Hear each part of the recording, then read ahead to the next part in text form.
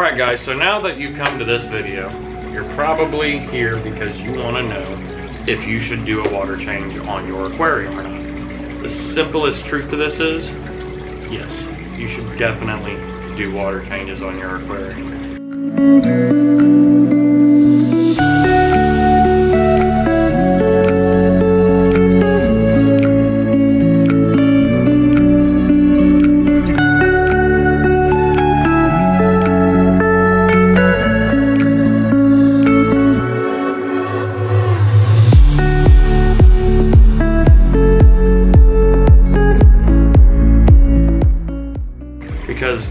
Time in that aquarium, your fish are swimming around and they're pooping their pee.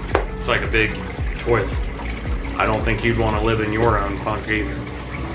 So that's where we come in and we do our aquarium maintenance and take care of our fish tanks.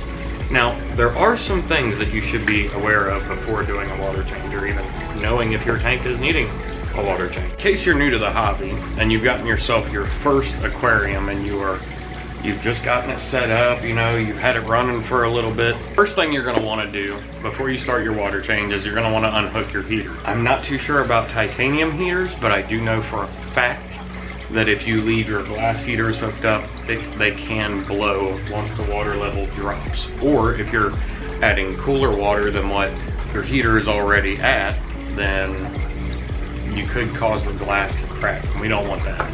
So I would go ahead and unplug the heater about an hour or so before you're going to do your water change. Now, to test for ammonia, you'll want to pick yourself up some easy strips or an API master test kit.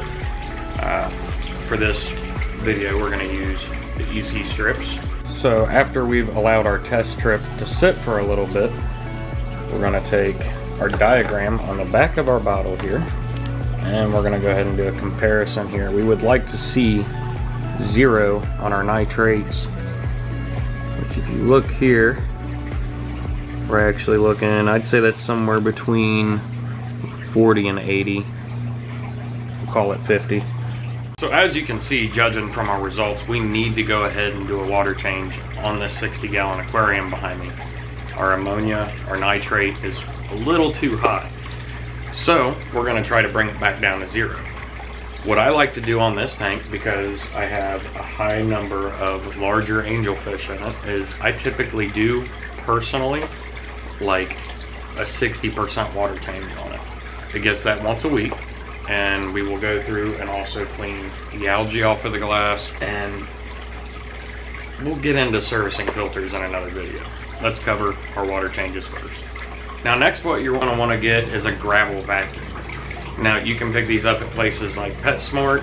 Um, they're relatively cheap. I think you pay somewhere around 20 bucks-ish, if I'm correct. Um, what I use is the Python gravel vacuum.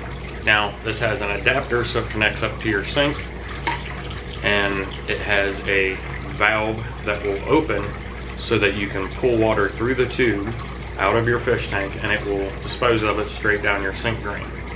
Now, if you want to refill your tank, all you have to do is twist and lock it back into place and this will push water back through the tube and into the tank. At which point you're going to go ahead and add a dechlorinator to your water if you're using tap water. Next, if you're using a Python like me, Python comes with one of these brass sink adapters you'll want to go ahead and remove your factory faucet and and adapt the brass fitting for your python. Then we're going to screw it on. Now because I want to drain my tank and I'm doing a gravel vacuum to remove waste from the tank you're going to want to reach down here and twist this cap open. This is going to allow it to pull a vacuum up and remove the dirty water from your tank and expel it down through your waste drain. Now, don't forget to turn your sink on like I did. But we're going to take our Python vacuum tube, make sure that our valve is flipped open. If you want to turn this off at any point in time and stop the flow in your Python, all you have to do is flip the valve closed and get this in our tank.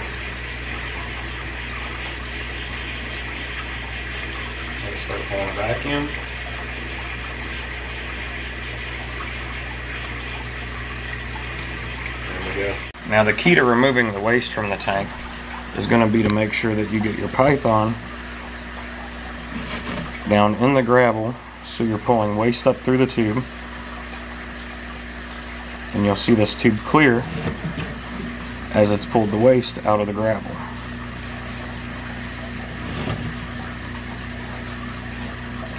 And we're going to repeat this process all throughout the tank. And if you've got any algae and you want to go ahead and use your algae scraper to get that off before you do this, that's a great idea too. In reality, with all of the fish waste that builds up in your tank over time, this leads to health problems in your fish. It can cause them to get uh, terminally ill in some cases. It can cause ammonia burn on their gills. Um, it can lead to stressing the fish out, which, as we know, stressing the fish out causes them to pick up other ailments.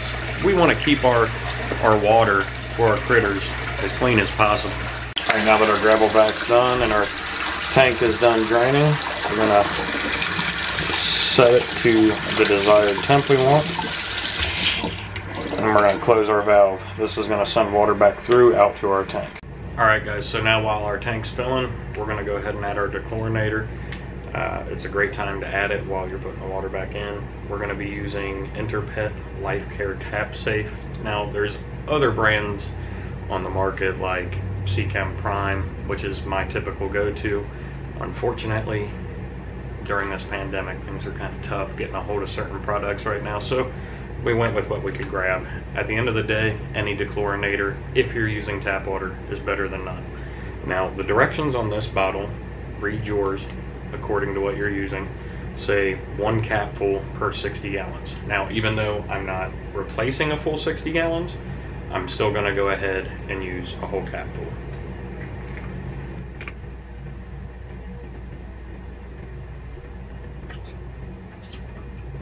Now, one of the benefits to using a product like Seachem Prime is it also detoxifies nitrate and ammonia in your water. Whereas this is simply just going to make it safe for the fish and to chlorinate it and remove products of the water that could be potentially harmful to your fish. Okay guys, so now that our tank is filled back up and our filters are up and running, we're gonna give it about an hour and then we're gonna hook our heater back up, which it's already preset to the desired temperature that I want for this tank.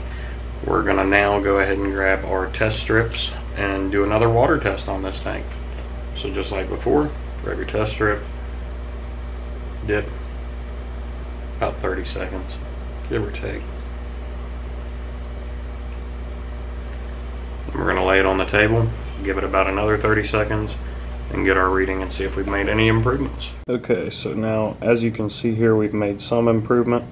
Not too terribly much, but enough that I'm confident in saying that our fish are going to be okay. Alright guys, so one of the reasons why we might still be seeing a slight reading on there is because I've been kind of overfeeding these guys a little bit lately.